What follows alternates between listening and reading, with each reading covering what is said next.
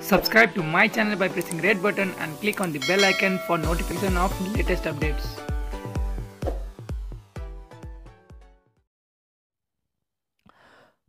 प्रहरी महानिरीक्षक आइजिपी शर्मेन्द्र खनालले तिस वर्षे सेवा अवधिका कारण मङ्गलबार अनिवार्य अवकाश पाउँदैछन् तर त्यसको एक दिन अघिसम्म पनि अबको आइजिपी को हुने भन्ने निर्णय सरकारले गर्न सकेको छैन खनाल दुई हजार चौहत्तर फागुन अठाइसमा नेपाल प्रहरीको छब्बिसौँ महानिरीक्षक बनेका थिए। सामान्य अवस्था र स्वाभाविक नेतृत्व चयन प्रणालीको विकास भइसकेको अवस्थामा वरिष्ठ एआइजी आइजिपीका हकदार हुन्थे। त्यही अनुसार एक महिना अघि नै बहालवाला आइजिपी विधामा बसेर भावी नेतृत्वमा जिम्मेवारी हस्तान्तरण गर्ने चलन थियो।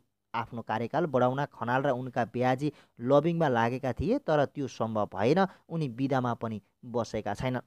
खनालसँगै अठार डिआइजी र तिन एआइजीको अवकाश पाउँदैछन्। त्यसैले खनालपछि नेतृत्वको दावेदारमा वरिष्ठ तिन डिआइजी पर्छन्।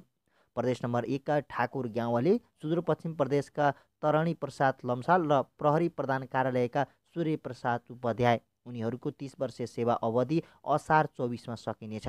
तिनैजना वरियता क्रममा क्रमशः एक दुई र तिन नम्बरमा छन्। उनीहरू आइजिपी खनालका वैकल्पिक ब्याजी हुन्। उनीहरू पछिको वरियतामा दुई हजार उनपचास सालमा सेवा प्रवेश गरेका डिआइजीहरू शैलेश थापा हरिबहादुर पाल निरज बहादुर साई प्रधुम्न कुमार कार्की र विश्वराज पोखरेल छन्। थापा प्रहरी प्रवक्ता पाल विशेष ब्युरो साई केन्द्रीय अनुसन्धान ब्युरो कार्की प्रदेश नम्बर दुई प्रहरी प्रमुख र पोखरेल महानगरीय प्रहरी आयुक्त छन्। आइजिपी खनालका वैकल्पिक मध्येबाट नेतृत्व चयन भने ग्यावाली एक नम्बरमा छन्।